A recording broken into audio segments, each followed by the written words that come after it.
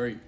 Uh, you know, there was a lot of uncertainty when that coaching change happened, but obviously it turned out for the best for this football program. And uh, the energy and environment around here has been nothing short of amazing. So, uh, you know, I think we feel great. And the Iron Bowl is Iron Bowl. There's a lot of rah rah, a lot of speech that needs to be given done uh, for this football game. Go to the back, Johnny. Hey, Derick, same question I just asked Colby. Um, considering where this program was just a month ago, could you pick a better person than Cadillac Williams for this interim head coach position? And just what does Cadillac mean to you personally? Uh, so I got asked kind of similar to the same question on uh, Saturday after the game. Basically, what I vouched for him, and I said I would do it a thousand times over. Uh, you know, I feel like uh, you know he, he's come in and uh, you know he he can relate to this place. Number one, he can relate to the players. Number two, being in the position that we were in, and you know he can relate to the, thing, the things that we're trying to do in the future.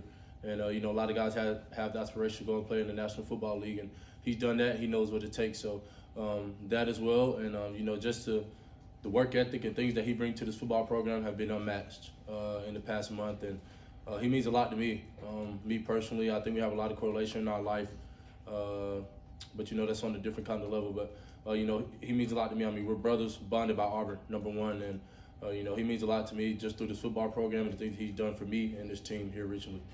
Jason. Derick Colby talked about creating havoc. You guys did that last year, and and how, how big of a key is that Saturday going to Tuscaloosa for the defensive line? huge. Uh, you know, they're they have a prolific offense. Uh, you know, have really good running back. They have good receivers all over the field, and obviously the quarterback himself, Bryce Young.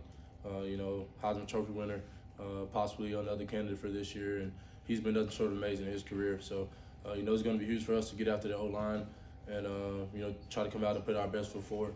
And uh, I mean, like you said last year, um, you know, we wreaked havoc, and that's that's another opportunity that, that we get a chance to go do again. So, you know, we're looking forward to it. It's Iron Bowl. Nathan. Derick Colby said he felt like at this point y'all are just playing with house money, and, and that could be an advantage for y'all in this game to just be loose. What, what, what kind of advantage do you think that you you personally that kind of mindset? What, what kind of advantage that bring? Right, that's for sure. Um, lay it all on line. I mean, we win, we win. We get a ball game, we don't. You know, we fought for Auburn. Uh, you know, we have nothing to lose. And I mean, like you said, we are playing with house money. We just go out and put our best foot forward and, you know, go out and, and, and put ourselves in position to try to win this football game, be in a dogfight for 60 minutes because, I mean, that's what it takes. The Iron Bowl, score don't matter, record don't matter. None of that matters. It's, it's about who, who wants it more that day. And, uh, you know, the, I mean, like I said, the Iron Bowl is the best best football college rivalry. I mean, college football rivalry ever. I'm sorry. So um, to be able to have the opportunity to go out and play in that game with these guys is going to be good. New bias. When you look back just on that game and everything that happened, where would you say you guys really started to put together as a defense? As far as what game? As far as I mean, last week's game, I apologize.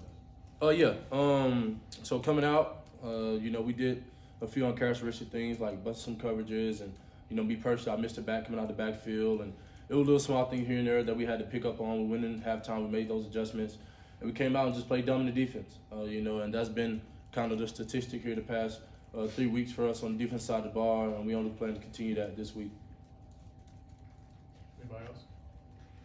I have a really serious question. Mm. Do you call it dressing or stuffing? Dressing for sure. Dressing. Uh, I mean, who who calls it stuffing? I mean, I don't. Or the parent does. I call it stuffing. Nah, it's it's definitely dressing. It's definitely dressing. It's a regional thing. Yeah. We got I guess. one more remark. The, uh, last year's game was pretty wild, Mhm. quadruple overtime. Yes, sir. What did it mean that you were such a big part of that game to win this one this year?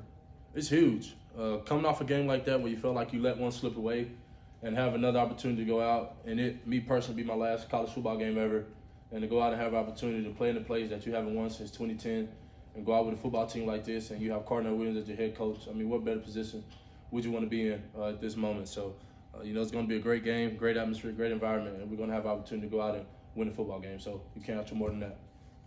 All right, thank you, Derick. Thanks, Appreciate it. Derick,